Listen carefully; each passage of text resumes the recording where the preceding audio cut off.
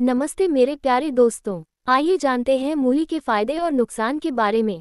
मूली के पाँच फ़ायदे। फ़ायदा नंबर एक, पाचन में सहायक मूली में फाइबर होता है, जो पाचन तंत्र को स्वस्थ बनाए रखने में मदद करता है और कब्ज से राहत दिलाता है।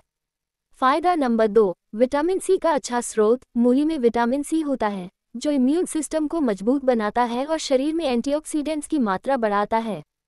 फ़ायदा नंबर तीन वज़न घटाने में मददगार, मूली कैलोरी में कम और फाइबर में अधिक होती है, जिससे यह वज़न घटाने के लिए एक अच्छा विकल्प है। फ़ायदा नंबर चार डिटॉक्सिफिकेशन मूली शरीर से विषाक्त पदार्थों को निकालने में मदद करती है, जिससे लीवर और किडनी को स्वस्थ बनाए रखने में सहायता मिलती है। फ़ायदा नंबर पाँच हाई ब्लड प्रेशर नियंत्रित, मूली में पोटेशियम की मौजूदगी से यह ब्लड प्रेशर को नियंत्रित करने में मदद करती है।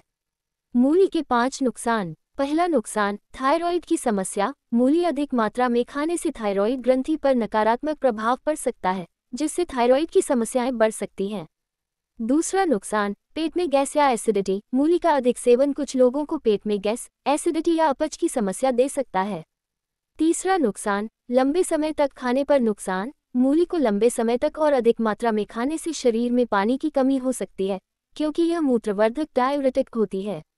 चौथा नुकसान, गर्भावस्था में सावधानी, गर्भवती महिलाओं को मूली के अत्यधिक सेवन से बचना चाहिए, क्योंकि यह पेट की समस्याएँ या एलर्जी उत्पन्न कर सकती है। पांचवा नुकसान, त्वचा पर एलर्जी, कुछ लोगों को मूली से एलर्जी हो सकती है, जिससे त्वचा पर खुजली, लाल चकत्ते या सूजन हो सकती है। धन्यवाद दोस्तों, वीडियो को लाइक करें और चैनल को सब्सक्राइब करें।